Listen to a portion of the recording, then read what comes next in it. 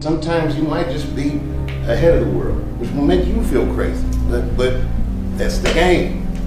Uh, that's why it's so important that you know yourself and know your perspective, or at least know that you don't know.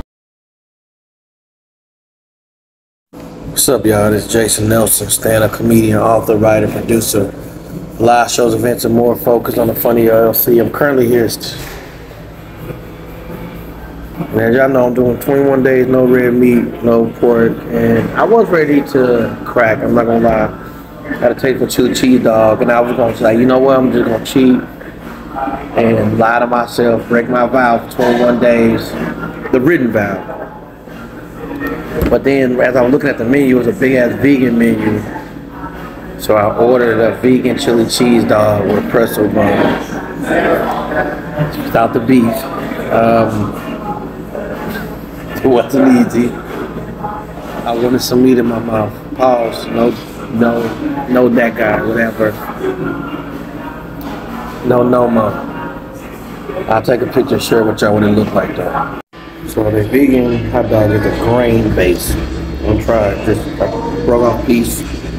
Just to see how it tastes.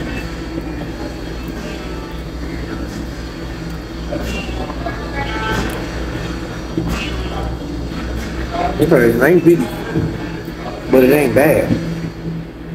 It's a grain hot dog, but the flavor's pretty good. The texture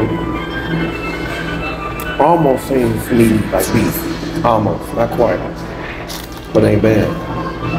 I do got regular dairy cheese on here. Mm. Don't lie, this is pretty good. Like, I'm not gonna say replace beef. I, I'd be curious to know if they ever had like a chicken, like dog or something, turkey dog. But you know, it don't have the same juiciness like as a beef hot dog or maybe a pork hot dog. But this uh, grain hot dog substitute is pretty good. I'm not gonna say like the ideal flavor, the texture. You compare it to like a beef hot dog, but if you need a substitute for it, that's pretty good.